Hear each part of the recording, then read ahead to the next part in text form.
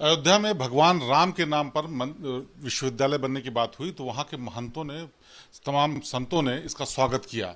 और अब उसके आगे मांग बढ़ रही है कि जो ये भगवान राम से जुड़े हुए तमाम ग्रंथ हैं, या फिर रामचरितमानस है, उसको राष्ट्रीय ग्रंथ के रूप में भी शामिल किया जाए। हमारे साथ महंत परमहंस दास जी हैं, उनसे बात करते हैं। ये बताइए, एक तो विश्वविद्यालय बनने की बात हो गई। अब आगे आप लोगों का क्या विचार है? देखिए, ऐसा है, ये बहुत ही सराहनीय कार्य हुआ है।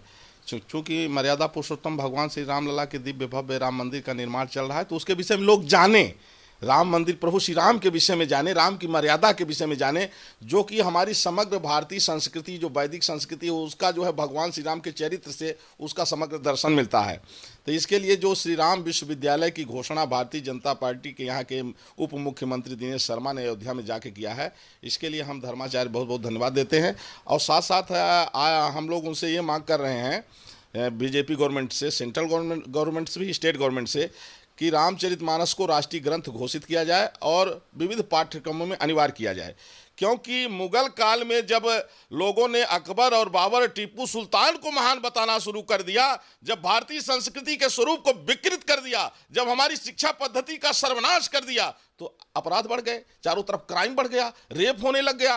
तो उसके लिए पुनः भारतीय संस्कृति को प्रतिष्ठित करने के लिए आवश्यक है कि लोग अनुशासित हों, लोग मर्यादित हों, भारतीय संस्कृति के अनुरूप लोगों का आचरण हो, उसके लिए जब रामचरित मानस पाठ्यक्रम में सम्मिलित हो जाएगा, अलग से किसी के पास इतना टाइम नहीं है कि वो अलग से जो है तो रामायण पढ़े, गीता पढ़े, भागवत पढ़े तो इसलिए हम जो है तो ये भी मांग करना चाहते हैं कि रामचरित मानस राष्ट्रीय ग्रंथ घोषित किया जाए।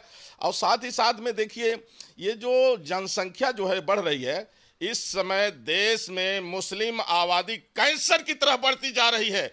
इसलिए पॉपुलेशन कंट्रोल बिल और कॉमन सिविल कोड, दो कानून जितना जल्दी बन जाए देश के लिए, उतना ही जो है तो अच्छा रहेगा। नहीं तो ये जो बेरोजगारी बढ़ती जा रही है, जब चार बीबी और चालीस बच्चा पैदा करेंगे लोग, कितनी आप कितना रोज़गार देंगे, कितने लोगों को सरकारी नौकरी देंगे? भूखमरी तो बढ़ेगी ना, प्रदूषण तो बढ़ेगा ना, क्राइम बढ़ेगा। इसलिए जो है मेरा मानना यह है, ये सबके हित में है।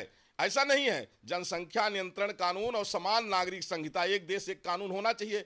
अगर ये दो लागू हो गया तो देश बच जाएगा। नहीं तो जिस तरह से बेरोजगारी बढ़ रही है आने वाला जो समय होगा बहुत भीषण होगा। इसलिए उम्मीद करते हैं, आदरणीय प्रधानमंत्री नरेंद्र मोदी जी ने देश हित में बहुत बड़े बड़े काम किए हैं, चाहे article three seventy thirty five चाहे ट्रिपल तलाक रहा हो, राम मंदिर का निर्माण चाहे तमाम कार्य।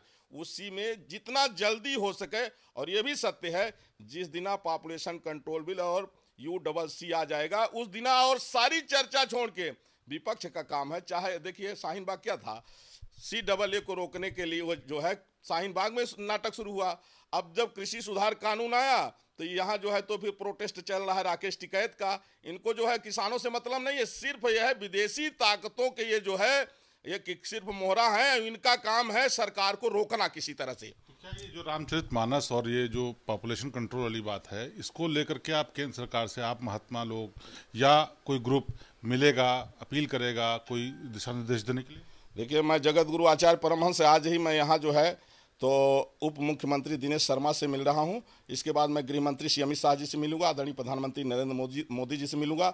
देश हित के लिए मैं समझता हूँ ये सबसे बड़ा कदम होगा कि जिस दिन रामचरित मानस राष्ट्रीय ग्रंथ घोषित होकर पाठ्यक्रम में सम्मिलित हो जाएगा, उस दिन से भारत में अपराध कम हो जाएगा, लोग मर्यादित हो जाएँगे। लोग फिर जो है मुगलों का आचरण, आक्रांताओं का आचरण, फिर अकबर महान नहीं होगा, फिर प्रभु श्री राम के आदर्शों पर चलेंगे। इसलिए इसको लेकर के हम लोग गंभीर हैं और मैं तो आज जो है तो चल के आ भी गया हूँ यहाँ। तो ये स्वामी परमहंस दास जी हैं जो बता रहे हैं कि किस तरह से वो रामचरित मानस को धार्मिक ग्रंथ के रूप में, राष्ट्रीय ग्रंथ के रूप में शामिल कराने की कोशिश कर रहे हैं।